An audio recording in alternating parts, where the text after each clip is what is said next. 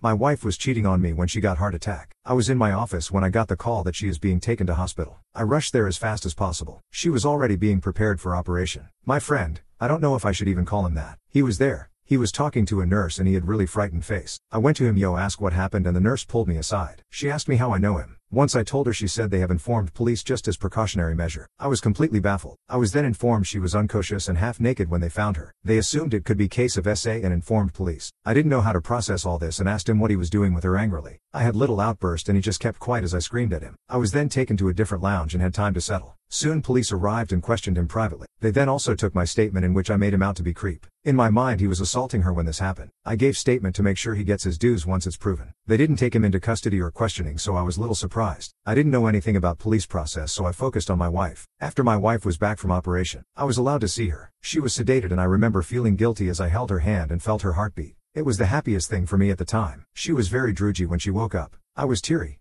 I fucking hate how detailed I remember this. Her eyes opening and adjuating to light. Her first time opening lips to speak. Her first tired sound. I told her it's not her fault. She was not gathering anything. I said don't think about anything now. After she was fully awake and well. Police came to take her statement. I had to wait outside and when I went in she had red eyes and was having difficulty to speak. We came home and after I was told she is risk of getting another heart attack I decided to never ask her about it. It was still bothering me that, that guy was still roaming free. I went to police station and I was told they have no reason to go after him. They also denied me any details of wife's statement. Angrily I went to his house. I was pissed and I again yelled at him for being a puss. I thought my wife forgot what happened before the heart attack and therefore there was no evidence to arrest him. His wife started abusing me and I told her he tried to rape my wife. She was shocked. She slammed the door in my face and I left. After two months of the incident I managed to ask my wife what happened before heart attack. She was silent. She didn't say she forgot. The dread was coming and I knew it was what I had never considered. I was so afraid to confront her. I talked to him and he said yes. His wife forgave him but I can never forgive either of them. I just don't want to be reason for her death and live this marriage when possible.